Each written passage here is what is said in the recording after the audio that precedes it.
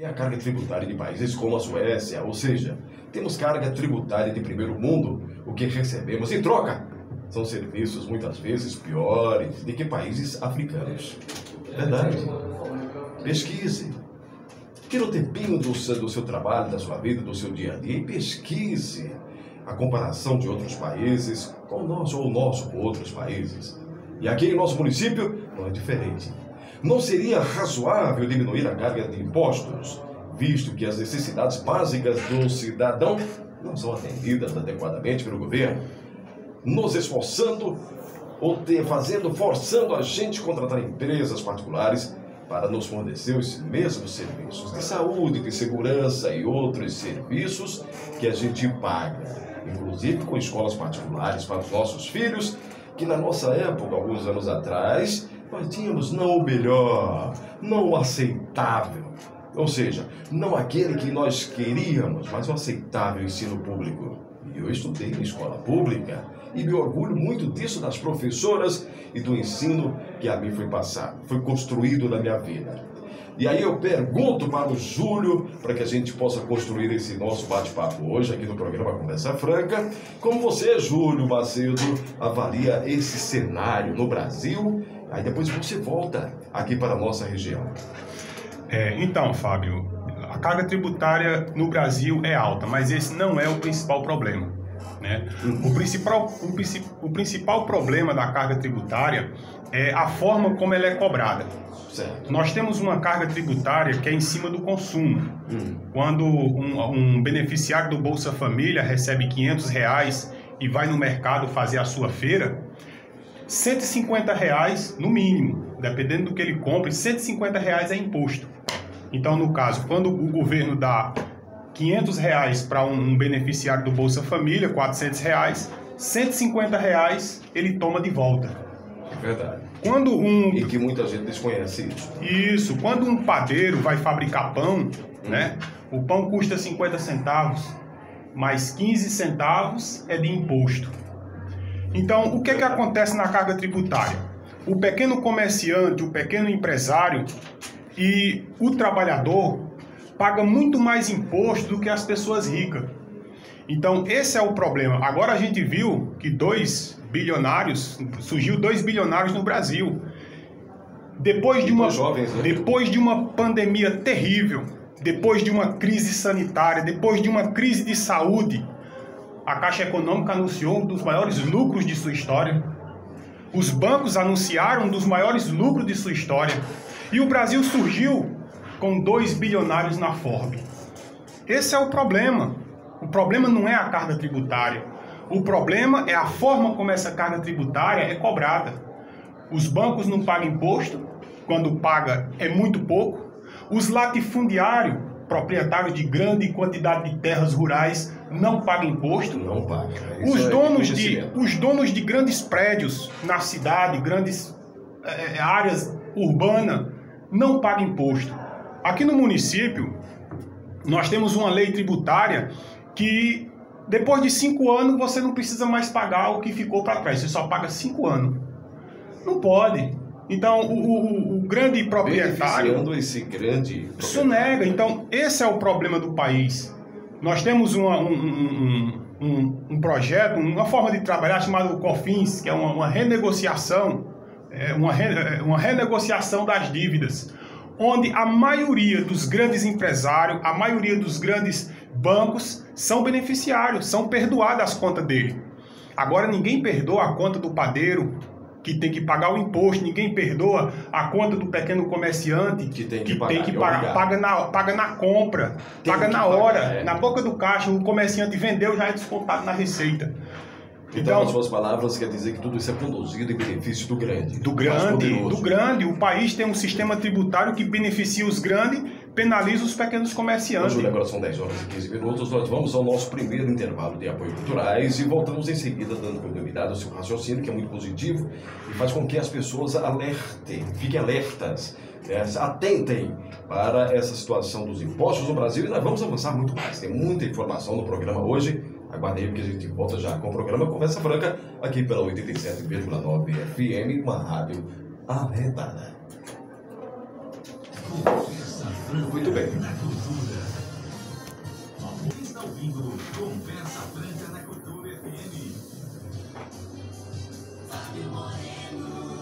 Muito bem, muito bem. Continuando aqui com o programa Conversa Franca desta sexta-feira, 8 de abril do ano de 2022. Batendo um papo hoje com Júlio Macedo, estudante, profissional, conhecedor de política. Foi candidato a prefeito, a gestor público municipal do nosso município. Não chegou lá, mas continuou construindo a sua ideologia política, o seu pensamento e a sua forma de que um dia possa mudar essa situação, possa fazer parte de um quadro político mais estável, diferente e que produza resultados em favor da população. Olha, eu quero mandar um grande abraço àquele que está ouvintes, amigos que ouvem o programa diariamente, que é o Walter Mecânico, o Gerim e o Charles, lá na Moto Peças. Tem um outro nomezinho, peças e alguma coisa da Ana, você me lembra ali? Eu esqueci. E acessórios? E acessórios, é. Doutor Anélio, advogado também acompanhando o nosso programa, o Alan, administrador das empresas, e Cleo Matson também ouve o nosso programa, ouve a programação da cultura, porque esta programação, quando chega ao ouvido desse nosso amigo, co-participante da nossa programação, desenvolve nele, desperta nele o desejo de ter um rádio, mais uma vez, como amigo, como parceiro do dia a dia. É, E continuando com o nosso programa, hoje com o Júlio aqui. Júlio, você, no seu raciocínio, respondendo aí a minha primeira pergunta, você mencionou que a pessoa recebe ali benefícios do governo, etc. O Bolsa Família, olha que nome. Eu não gosto desse nome, Bolsa Família, porque dá a impressão que a gente está num país miserável, um país da África, que não tem gestão, que não tem governo que trabalhe em favor da sociedade. Mas não, não seria aí, eu gostaria da sua opinião, necessário que antes desse mísero Bolsa Família, que agora tem um outro nome, me lembra aí, é o auxílio emergencial. auxílio Agora é emergencial, auxílio emergencial. e que termina, sabe o quê? Ah, ah, não, é Auxílio. Auxílio Brasil. Auxílio Brasil. Foi auxílio, é, porque foi auxílio emergencial, aí agora é auxílio Brasil. Auxílio. E que esse- esses míseros é, reais que as pessoas recebem mês a mês, não seria aí o caso do governo estar preocupado em capacitar, desenvolver condições para essa população, treinando para uma profissão, para que consiga se inserir no mercado de trabalho e deixar de estar precisando dessa, desse, dessa mísero, ou se desse mísero ah, ajuda do governo? É, então, Fábio, como eu falei no outro bloco, nós temos um sistema que ele é desenhado para beneficiar alguns em detrimento de outros. Então, qual é a nossa luta hoje? É conscientizar essa massa da sociedade que vem sendo penalizada, né? E eu vinha conversando com a Catiane ali, eu vinha caminhando aqui pela feira e olhando na cara do povo, olhando as pessoas trabalhando e dizendo a Catiane, Catiane, nosso povo é bom, nosso povo é trabalhador. O problema do nosso povo é os governantes. E não é só os políticos, não. Aqui eu quero alertar, não é só os políticos, não. Os ricos têm participação. Os ricos têm porque participação. eles são beneficiados. Então, nós temos um problema sistêmico. Nós temos um problema sistêmico Verdade. que é ocasionado pelo egoísmo e pela indiferença, É. tanto dos ricos quanto dos políticos. Os, os ricos são indiferentes à situação do povo e os políticos são enganador. Então, essa é a situação que a gente vive. A gente tem aqui o, o acesso ao IF, É. ali pelo bairro do Batalhão. Hum. A gente vinha caminhando pela estrada, E que eu já fui lá algumas vezes. só mansão de um lado e do outro. Verdade. E Só mesmo mansão e, e não- e não tem pavimentação assim, na não- rua. É isso que eu ia te falar. Não tem Não tem pavimentação estrada na difícil rua. acesso. Eu, eu sabe, eu assim, eu sou socialista, mas se por acaso eu fosse rico, eu tinha vergonha disso. Se eu fosse rico e morar numa cidade onde a população não tem emprego, onde o índice de educação é os mais baixos do estado, aqui na nossa região, o índice de educação é o mais baixo. Eu tinha vergonha de ser rico num lugar desse. Eu teria vergonha. Mas eles, você, a gente não Então- vê um desses poderosos, desses ricos que constroem o percentual de ricos da- do nosso município se manifestando em favor de, um, de uma É- pavimentação de melhor acesso. É exatamente isso que eu estou dizendo. Só mansão de um lado e do outro e o esgoto estourado no meio da rua e a rua não tem asfalto e tem um mato. Essa é a consciência da nossa liderança. Hum. Essa é a consciência da nossa liderança. Sabe? Existem lugares, nos países desenvolvidos, o rico ele ganha em cima da renda. Em cima da renda, mas aqui não. Aqui a gente vê um conchavo entre alguns empresários e não são todos, aqui a gente tem que ressaltar, alguns Verdade. empresários que formam conchavo para furtar o dinheiro do povo com, com, com, ime- como é que chama? Com licitações Com fraudadas, licitações. com licitações, elas obras nem existem. superfaturadas, empresas fatura ganha E milhões crescendo. com o dinheiro do povo. Tem empresas crescendo. Então, com quando a gente movimento, com esse benefício errado. A gente tem que ter empresários que procurem o lucro através da produção de produtos e serviços. O empresário ele tem que procurar fabricar um produto bom, prestar um bom serviço e ganhar o seu dinheiro. Isso é o que funciona num país moderno. Aqui não, aqui os empresários, cada um, aí vamos fazer ressalva, alguns empresários querem ganhar dinheiro pendurado na prefeitura. E consegue esse gancho. Pin- Consegue, Com uma facilidade incrível. Consegue. Então aqui eu quero alertar a população que nós temos um, um problema que não é o povo. Va- População, vocês são trabalhadores, vocês são um povo bom. Eu digo para você, nós somos um país de paz, nosso povo é pacífico, nosso povo povo, nosso povo é tolerante. Então onde é que está o problema? O problema está na liderança. Nós temos uma herança colonial de escravidão. O Brasil foi o último país do mundo a liberar a escravidão, a acabar com a escravidão. Mas que continua mantendo esse mesmo regime de escravidão assalariados. Você, fa- você falou um ponto muito importante, a questão do, Não mudou nada. do Bolsa, do, do- do Bolsa Família, do auxílio. Esse auxílio é necessário, sim, mas a gente tem que saber que importante é emprego.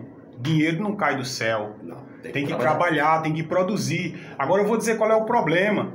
Ah, por que, que o nosso PIB, o PIB de Oricuri, o PIB da região, é um dos mais baixos do, da, do país? É um dos mais baixos. Nosso PIB é um dos mais baixos. O PIB de São Paulo é em cerca de 300 mil. Aqui é 9, 12, 10, varia. Como não vai ser tão baixo assim, Júlio, se nós temos uma produção comercial baseada, limitada nas, nos trabalhos eh, que são oferecidos pela prefeitura? Mas qual é o problema? O problema é o seguinte, que a produção hoje ela é baseada na infraestrutura e na tecnologia. Que não há investimento. A produção não é baseada no trabalho humano. Não é baseada no trabalho humano.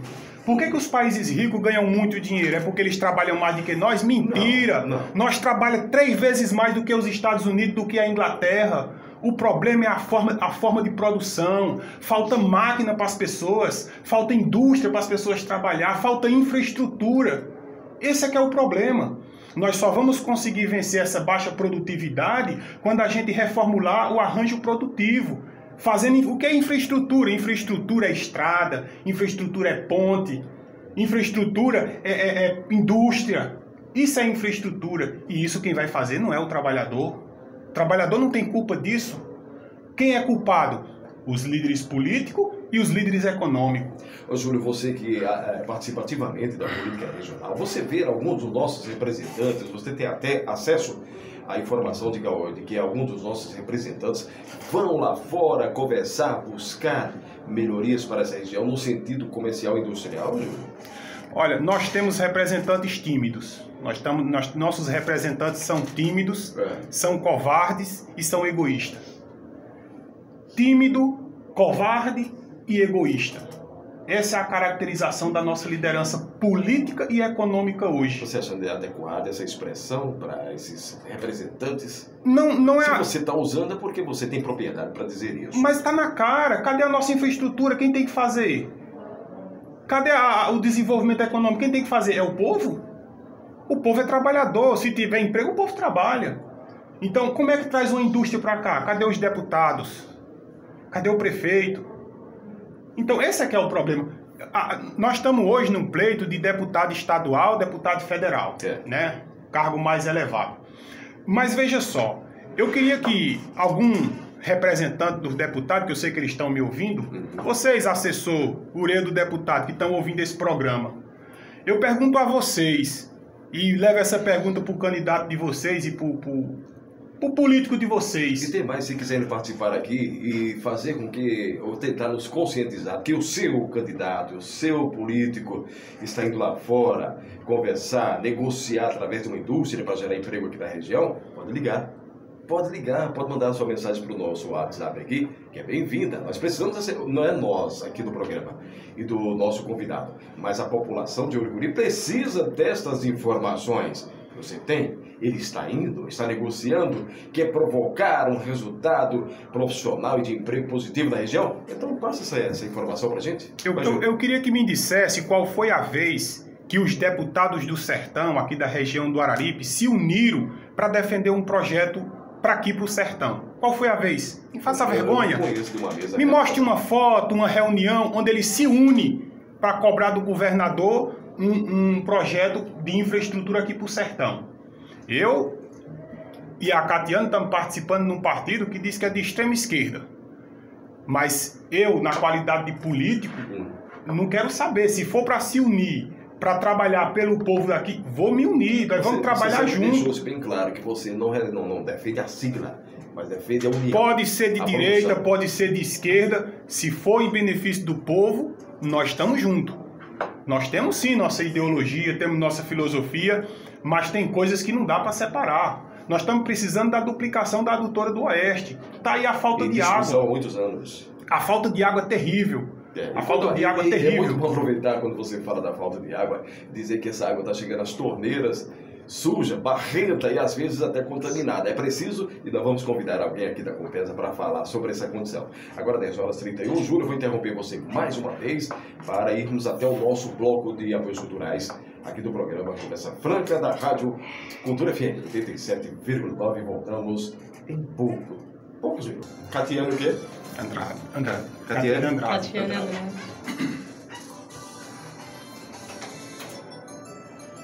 Agora 10h36.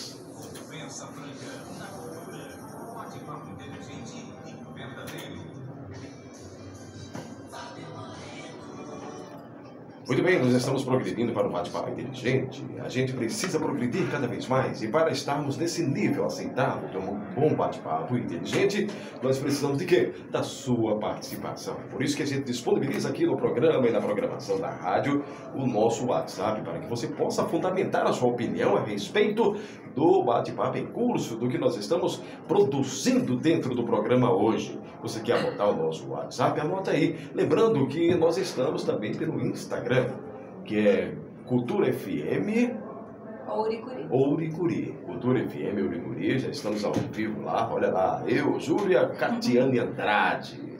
Estamos aqui batendo um papo e avançando nesse bom bate-papo. Pode soltar o nosso, mais uma vez, o WhatsApp da Cultura 87,9 FM.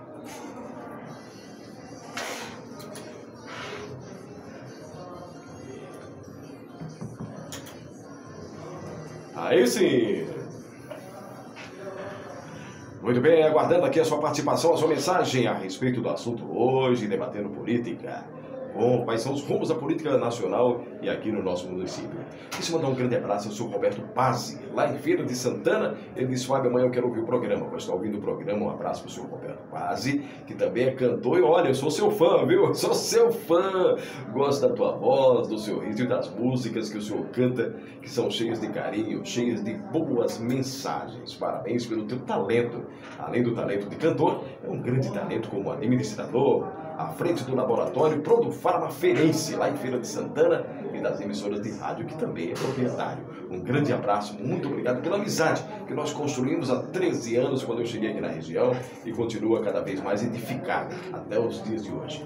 Estamos conversando hoje no programa com Júlio Macedo, que é militante, ex-candidato a gestor público municipal aqui pela, pelo município de Uriguri. E também recebendo a Catiane Andrade, que é, vai ser vice, né? Pré-candidata a vice, governadora do estado. É, eu sou. Ela é deputada. Ah, ela é deputada. É. Então, oh, perdoe. Quem, quem, tá, quem tá cotado para ser, pra ser candidato a vice, no caso sou eu, e a Catiane tá cotada para ser candidata a, a deputada estadual, e tem um amigo nosso, Hum. que é daqui da cidade de Oricuri, que é o Edinaldo, que está cotado também para ser candidato a deputado federal. Muito bem, interessante. Então, nós temos uma, um- uma probabilidade, né? nós temos uma proposta de que Oricuri tenha três candidatos, Hum. né? estadual, federal e vice-governador aqui de Oricuri. Então é uma coisa histórica, é uma coisa Não, é histórica. necessário. Claro que é, um, é preciso algo que estejamos atentos a essas possibilidades. Isso, é se, algo se que- quisermos uma- mudar a nossa política. Isso é algo que o partido ainda vai referendar.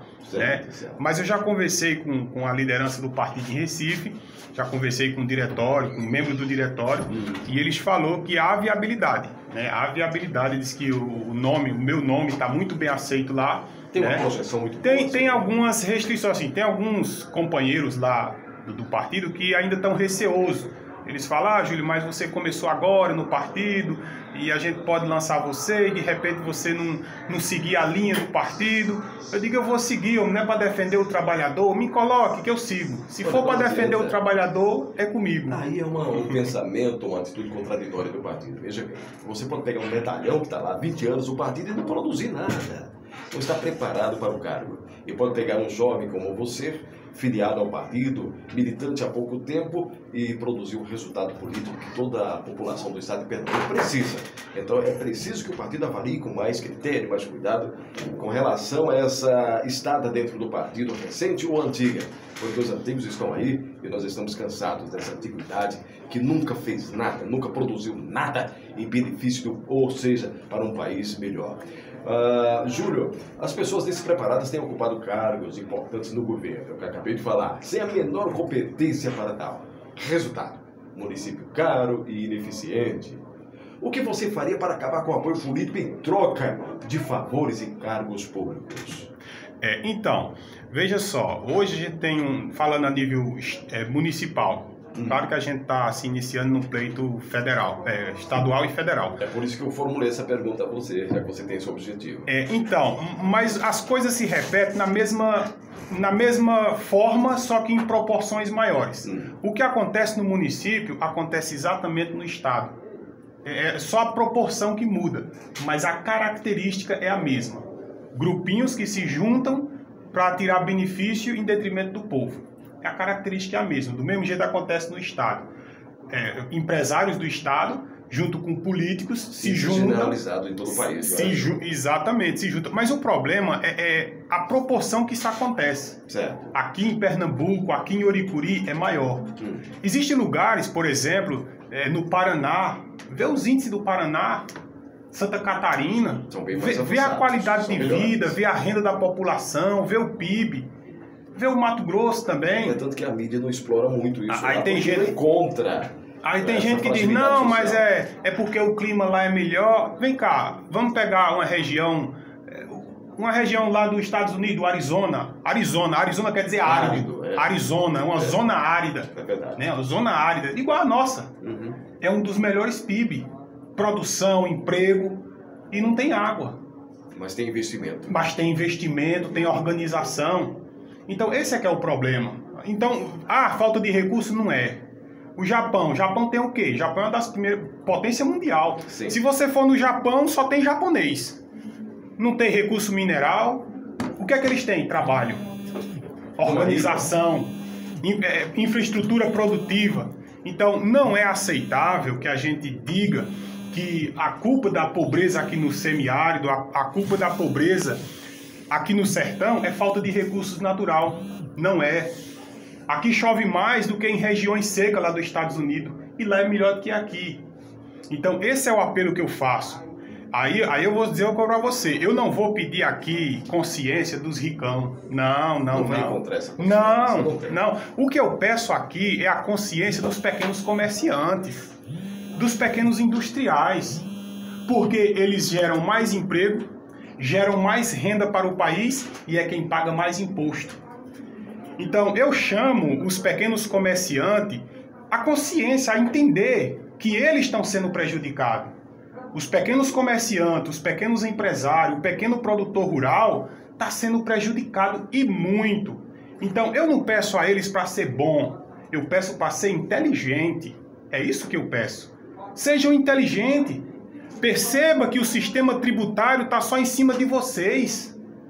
Você que tem uma bodega, você paga mais imposto do que o cara que tem um prédio de 2 milhões, de 10 milhões na sua, da, da frente da sua, da sua Isso é uma bodega. verdade. Infelizmente é uma verdade no nosso país. Aqui a gente tem um comerciante que tem uma bodeguinha de 100 mil, um- uma farmácia, um, um comércio.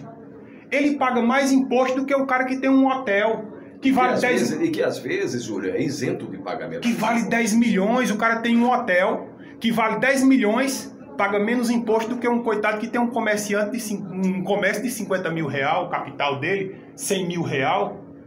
Então eu chamo os pequenos empresários a, a entender isso, a perceber que eles estão pagando mais. E que o que é que acontece? Se o dinheiro concentra, a economia para. Esse, essa é a perversão do capitalismo. Que se você concentra a renda, a economia para. Se todas as terras do fazendeiro, a vila se acaba. A vila, a vila que tem na, perto da é fazenda, se, é. Então, é a- dele. isso, então a gente precisa dessa, dessa questão. A gente, eu quero um, um- um ambiente é, é, é, econômico favorável, onde todo mundo tem oportunidade. E a gente só vai alcançar isso se a gente criar regulações. Quais são essas regulações? Taxar as grandes fortunas, taxar o lucro e a renda. O lucro e a renda não é taxado. A taxação é mínima. A taxação é em cima da produção. Nós temos uma, uma usina, uma, uma refinaria de Abreu e Lima. Temos aqui no estado. 12 milhões de investimento. Tá lá parada. O Brasil está comprando gasolina. O Brasil está comprando gasolina do exterior e aqui no estado de Pernambuco nós temos uma refinaria pronta para trabalhar. Toda a produção e refinaria que tem no Parado. país. Então repare, nós temos uma refinaria de Abreu e Lima parado e nós temos o maior índice de desemprego do país. O estado de Pernambuco tem o maior índice de desemprego do país. Aí vem esse governador, sou socialista. Socialista de quê, meu irmão? Socialista. PSB, Partido Socialista do Brasil. Socialista de quê? Só na sigla. Socialista de quê? Na sigla só. Do- O estado de Pernambuco tem o, pi- tem o pior índice de desemprego. A, a taxa maior de desemprego é aqui.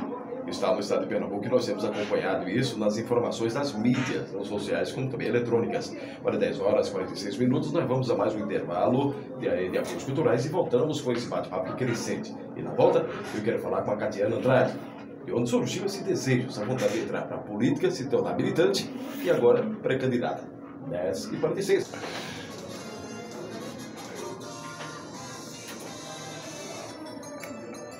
Dez e cinquenta e um.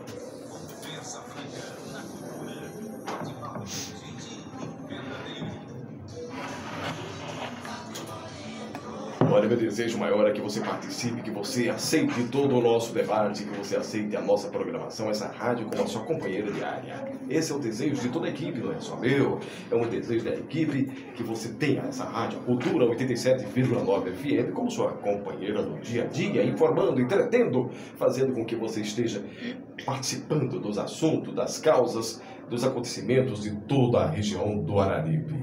Ah, lembrando mais uma vez que daqui a pouquinho tem o WhatsApp da Cultura com Daiane Santos. Uma voz simpática, linda, adequada ao horário, adequada ao desejo do ouvinte e também a metodologia de trabalho aqui da nossa rádio, que é 87,9 FM. Ah, como nós também estamos recebendo a Catiane Andrade. Catiane, ah, eu gostaria de saber de você aonde de- a- nasceu o desejo de você entrar para a política e se colocar como pré-candidata a deputada estadual? Bom dia a todos. É, essa vontade é porque eu vejo as necessidades das, da minha, do meu povo, né? Então, assim, isso é o que me faz querer participar na, na política e estar afiliada, né? Eu acho isso uma grande oportunidade de você aprender, desenvolver junto, né?